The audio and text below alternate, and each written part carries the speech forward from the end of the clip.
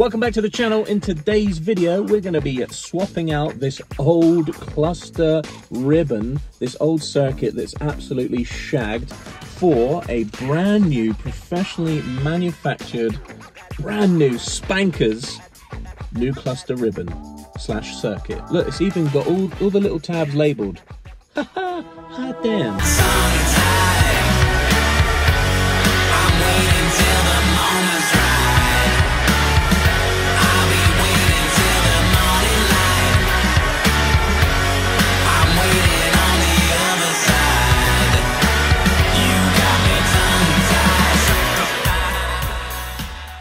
So yes, today's video is sponsored by Larry at Scirocco Printed Parts, who, he, this is not 3D printed, although he does do a lot of 3D printed parts for old Volkswagens, which we'll talk about a little bit later. This is actually professionally manufactured, so he sort of, um, I, I'm pretty sure he just tells people what he wants. He tells a company what he wants, and uh, they do this for him. So this I'm so excited to install. I will leave links to everything that Larry does in the show notes below. I highly recommend you go and give him a follow on Facebook, but we're going to crack on with today's video and we'll talk about what Larry does a little bit later. Now, after taking off the original ribbon from the back of the cluster, you can see how corroded this thing is. You can see where it's become disconnected and it's not completing the circuit. It just looks absolutely haggard. Now look at the comparison to our nice new circuit. Look, it's even labeled. Look at that. It shows you where each one of those connections goes to. It's so fresh, so clean, so unmolested and ready to go. The original rabbit pickup cluster ribbon is off. Let's go ahead and put this on. What I've done is taken the speedo part, the speedo dial out of the back. It was just held on with these four screws and when you take that off, you can then take this little black piece off. It's got little pincer things here. You just press those in and then it releases that. And then, we put that aside for a second. Then what we can do is we can go ahead and lay that down set that in position. I'm being very cautious because I do not want to break anything. Okay, that's popped back in place. Sweet. There we go, look. This is looking so good. It's looking so much better already. I will now put this back on. Now, when you're working with very small little things like screws and bolts and washers that are really, really small, keep a pot nearby where you can put all that stuff in. As you can see, I'm using a Yankee candle lid. Pretty much all the screws done except from this one here. Now, I remember him saying that it does look upside down, but it's not. So what he's done is he's sent these to use as a spacer. So let's go ahead and put that on.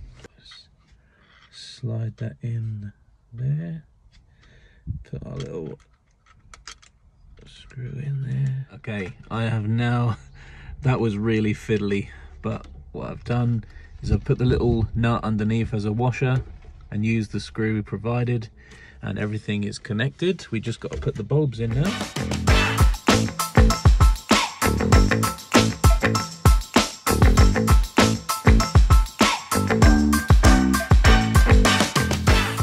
That's everything screwed in and new bulbs are in as well. I guess there's only one more thing left to do. Let's test it out, shall we? Let's just give you one more little close-up before we put this back into the dash. As you can see, I've used all the original parts that came off. I've just put them back in the same place. And all we've changed is the ribbon. And let's see what works. Moment of truth. Here we go. Let's go ahead and use the hazard. There we go. Are both bulbs supposed to be going off? You've got the hazards or indicators or blinkers, depending on where you're from. Uh, let's, oh, that's nice and bright. That is nice and bright. That's the alternator light. And then we've got indicate Ooh, that's nice and bright. Wow. I wonder why Oh, that's strange. Anybody else's do that like, but, but, but, but, but. Okay, okay. And if we turn the lights on, this is where it's going to be ridiculously hard to see. The dimmer is all the way up before you start commenting. Hmm. Let's see if the alternator light goes out after we start it up. Hey! Nice! I've just realised as well that my fuel gauge is actually going up to where it should go. I mean, I don't know if how accurate that is, but I, like I said, I did put full a full tank of diesel in, and I'm not. I've never seen the temperature gauge go up like that before. I mean, I've only just turned the truck on. I've only just switched the engine on. I've never seen the temp gauge like that. I've just realised this light is on. You can really see it if I... See, look, I just...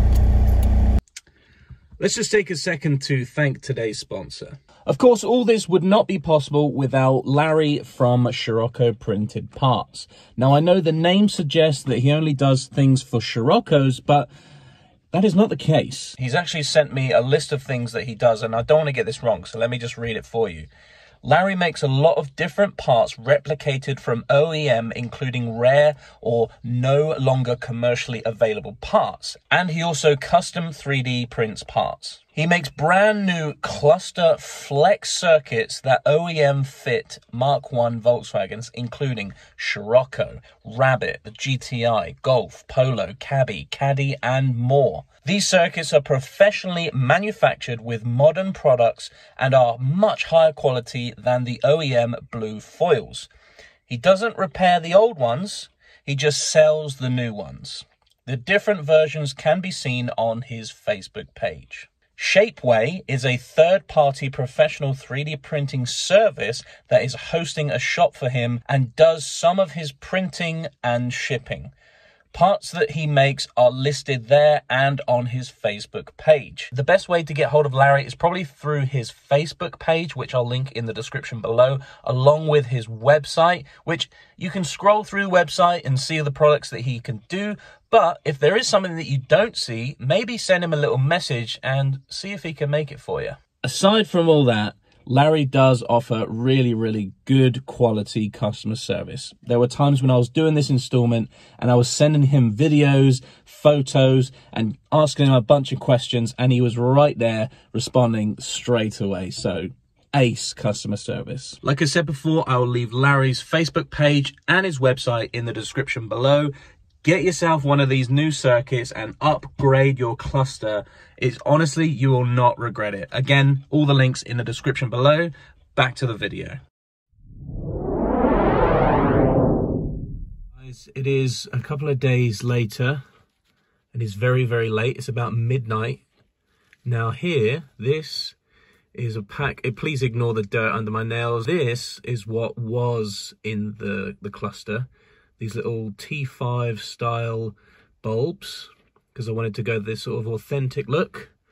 But turns out the, the lights are very, very dim. This is a T5 style LED with the little home that it lives in. Now what I've done is I've swapped out the bulbs for the LED ones.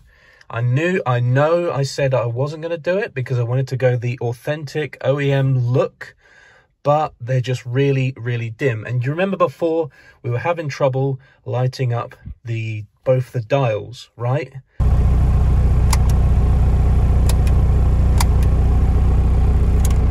Since I have changed them to LEDs, and I'll show you what this looks like at night time. Let's go with just the lights. Look at that.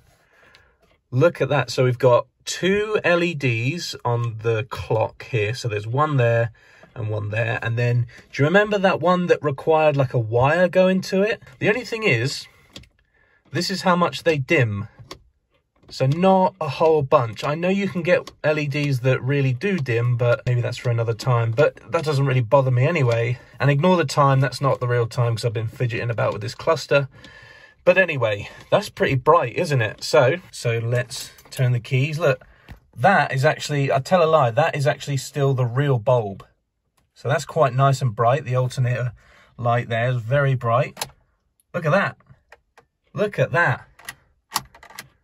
So we got on and off, but they're working as they should, on and off. And of course, we've got a nice bright LED indicator. Amazing. The only thing that's like on my mind at the moment is when I hit the hazard switch, is that normal? Like, should the should the dials be going off as well? I thought it was just the green uh, blinker light. We turn those off. And then we've lost the dials completely, which is really weird.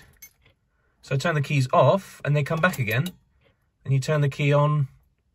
Do you know what I mean? Is that normal? Is that normal? That, to me... Oh, look, now they stay on. Very strange. Okay, let's try ignition on. Okay. Everything still works as it should. Little flash. Lovely. We turn those off. Little flash. That still works. Lovely. Absolutely lovely. Now, I know you can get LEDs for these as well. I don't know. That's kind of cool. I like that nice and dim light. I think if we went LED with that, it would be too bright in here. But I don't know. I don't even use this light, to be fair. I'm quite impressed with how this all went. Just to give you a little uh, reference, this is the, the product that I got from Amazon. It was about 9 UK pounds for a pack of 10 LEDs. Is it the authentic OEM style look? Perhaps not, but at least I'll have working lights and lights that are bright enough so you can see things like gauges. So that's always a plus. Now the next thing for the cluster front would be to get these 52 mil gauges working, all hooked up. I don't, they should come with lights, right? There should be lights inside those dials. That's the next thing to be working on. So we've got oil pressure, temperature and voltage. I'm looking forward to having those working. The more and more I go down this rabbit hole of, you know, how the, the truck works, it's uh, more appealing to me to know what exactly is going on with the truck at all times. Like voltage, how much voltage is, is the battery putting out? Is the alternator working? That sort of thing. Temperature gauge is always good to know. And of course, oil, oil pressure for me is something that I'm going to do a deep dive and learn more about. So, but yeah, there we go. Apologies for this low quality, low light ending to the video. But it is very, very late on a Saturday night. What did you do last Saturday night? Well, I sat in my truck for about an hour, twiddling with the cluster and electrics and twiddling around with little bulbs trying to make the, the dash light up. But uh, yeah, the things we do, eh? The things we do. Oh, also on the cluster front, we're still yet to install the speedo cable and of course the 52 mil gauges, get all those working. And we're looking pretty close to having a few things, few more things ticked off on the truck. So tune in next time. I'm sure we're going to be diving into those things. So if you enjoyed this video, give us a little thumbs up, subscribe to the channel if you're new, and if you haven't seen any of our other videos, go back and have a little watch. Enjoy yourself, but not too much. Turn up the 80s, sounds of the 80s Rhapsody, the greatest the day. My mama made me 99 problems, why I don't look or sound like Jay-Z? I'm lazy, won't fit in a grave, my wave is wavy. I'm glad he made me, Jesus had to save me. Took a few looks, the good books, the page is crazy. Got a few looks, turning scripture to what it is, you want a fist or a kiss, huh?